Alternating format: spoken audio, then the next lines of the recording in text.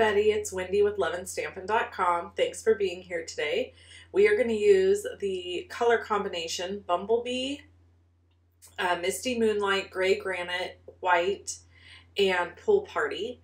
And we're using a few different dies and this awesome textured embossing folder. So we're going to focus on the Brew Some Fun stamp set. And I want to just tell you, this card was made for a swap. I've explained in previous videos what swaps are. So if you um, aren't sure what that is, you can check that out in a, in a previous video. And I'm going to just go ahead and fold this four and a quarter by 11 inch piece of cardstock over to make a top folding card. And then I'm going to start layering all of my pieces. Now, if you want all the measurements for all these pieces, you can hop over to my blog. There's a link in the description of the video that takes you to my blog and you'll have all the measurements listed there. Just scroll down a little bit and you'll find them there. I didn't write them all out um, here on the screen because honestly it just takes a lot of time and I've already written them out on the blog post. So description below the video, there's where your links are, not only for the blog post, but for all the products that I use today. And um, there's also a link to sign up for my fall paper party. So if you want to sign up for my fall paper party, you can do that as well. Okay, so I'm just going to keep assembling this card and I'll jump back and forth between story time and the card, but I have quite the story time for you today. So we got to get started on it. If you're new to my channel and you've never visited me before, you'll find out pretty quick that I tell stories about things going on in my life. So this is kind of like a card making chit chat vlog versus just me crafting and telling you how to make a card. Um, my channel kind of just morphed into that. So if that's not your gig, I get it. I totally understand. It will not hurt my feelings at all for you to to pop off and say this is not the channel for me. That's fine. Um, but I wanted to just give fair warning. So I do that in a lot of my videos because I have gotten quite a few comments over the years about that I chat too much. Well, that's what my channel is. So um, if you don't like that, then I'm probably not the spot for you. Okay, so I'm layering, you saw I stamped in gray granite. I'm just layering this circle die down onto one of the encircled beauty dies, which are gorgeous, by the way. Um, one of the die sets I showed you in the beginning. And now I'm just going to trim this edge off in order to add it to my card. Okay, so 4th of July weekend. Um, we had a wonderful weekend overall. Uh, we just had one kind of crazy incident. So, um, basically, let's see, on the 3rd, there's always fireworks in the town near us. So we drove and went to that, and we had a really nice evening, hung out with some friends and stuff, um, and hung out there. And then um, we left there and after we left there, we went home, had a nice evening.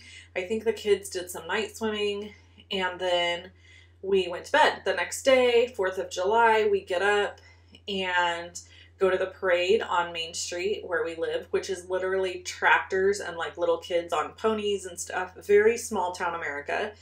And it was really fun. And then because I live in California, um, we aren't allowed to set fireworks off um, like near our house because of fi- because of wildfires. So, um, you know, obviously, if you follow the news at all, you know that California gets hit with massive wildfires every year. Um, some years worse than others. We've already had quite a few fires this year. It's going to be a really bad year because it's been extremely dry. And um, we just have not had hardly any rain at all. And as much as I don't like winter and don't like rain, even I have recognized how badly we need it. So, all of that being said, we have to like go to certain areas to set off like even little fireworks or use sparklers. Um, and we don't have like we're not allowed to have the kind that shoot off in the sky like my family in Montana. They can like do whatever they want. We can't do that here. So, um anyway, we so at at like eight o'clock on Main Street, they have the whole town come together. It's very now let me remind you i live in an extremely small town. So the population of the town i live in is a thousand people. The population of the county the entire county that i live in is 30000 people. So and i think that includes the prisoner count which is 5000 so i'm telling you when i say small i mean small and i know a lot of people think of california and they think that's not how California is, but actually there's a lot of rural areas in California. So, anyway, we gather all of our stuff, we go up to um, Main Street, and we enjoy a beautiful evening watching everybody set their fireworks off in the middle of the street. The fire department's there. Um, the fire department comes and cleans up all the fireworks afterwards that get set off, and it's really, really, really fun. It's just a beautiful, fun time with family and friends and like gathering with your community. So we've done this every year for years. Never has there been any sort of an issue whatsoever.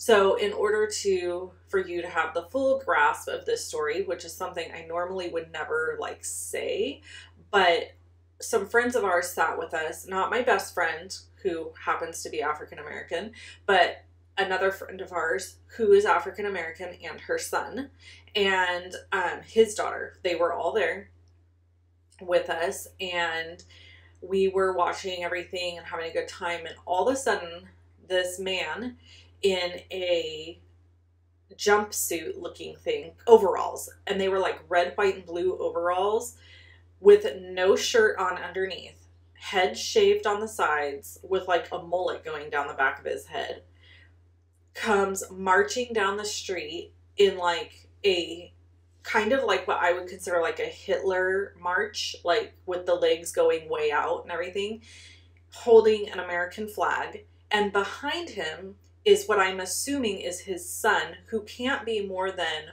five or six years old, carrying a Confederate flag. And they are like marching down the street in front of us, and it kind of just gets silent. Like the whole street was just like kind of quiet. This was towards the end of the fireworks, so there wasn't a bunch going on still.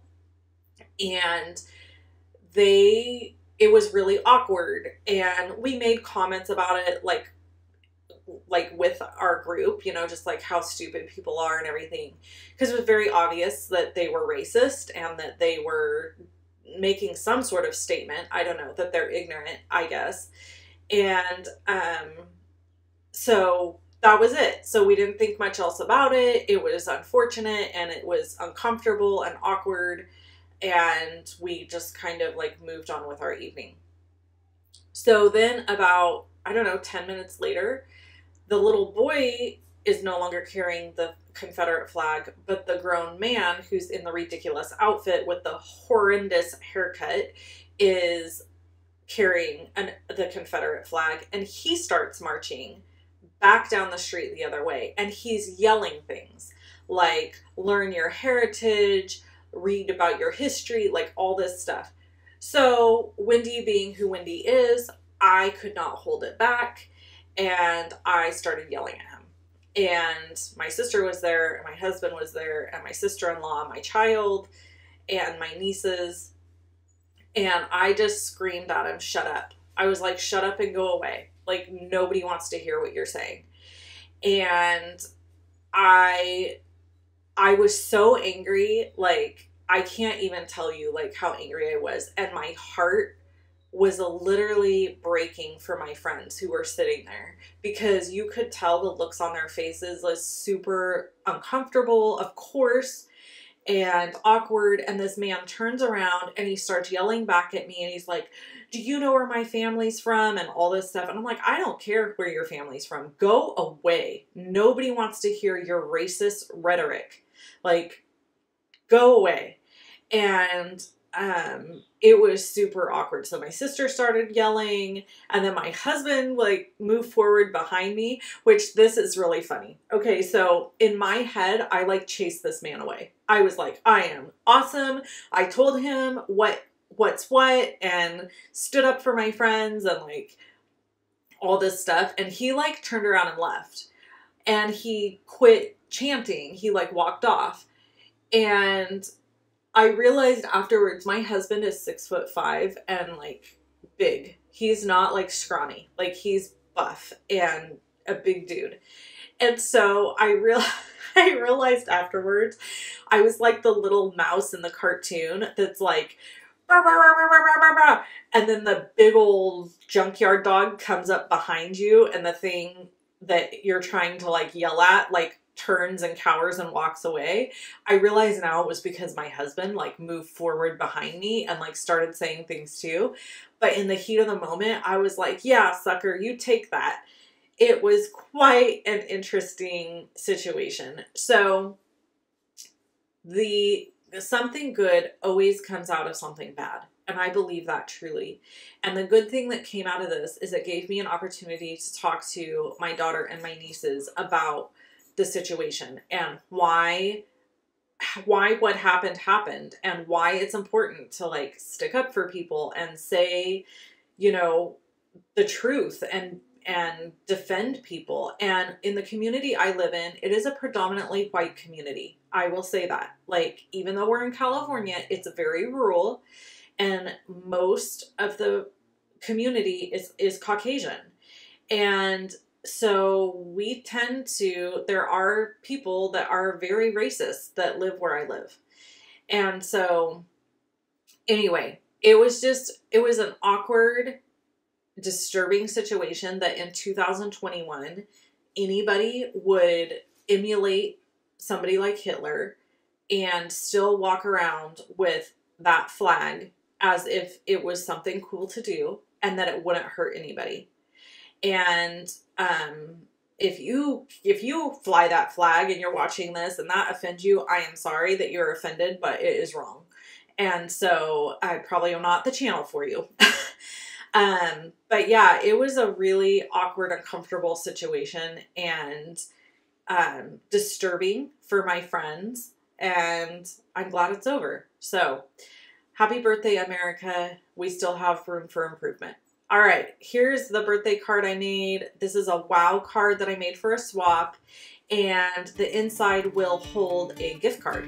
So if you want the measurements for everything I did, you can visit me over on my blog, link below the video. Sorry, our story took up pretty much the whole video this time, but you know, most of you that come here, I think, come more for the stories than you do for the cards anyway, so there's that. I hope you have a wonderful rest of your day, and I'll talk to you soon. Bye-bye.